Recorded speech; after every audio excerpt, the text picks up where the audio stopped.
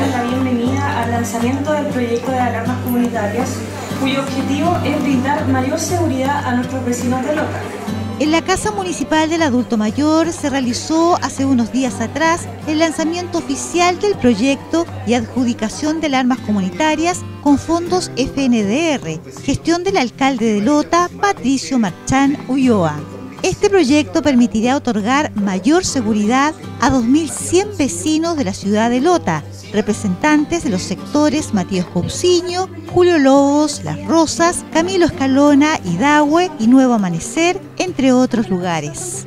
Cabe indicar que el proyecto de alarmas comunitarias se enfoca además en la capacitación y equipamiento de siete poblaciones de la comuna de Lota, las cuales presentan características de vulnerabilidad y alta exposición directa al delito.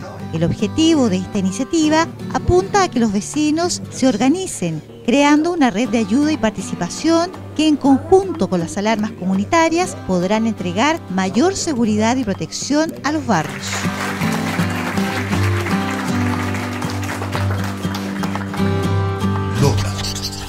Avanzamos contigo.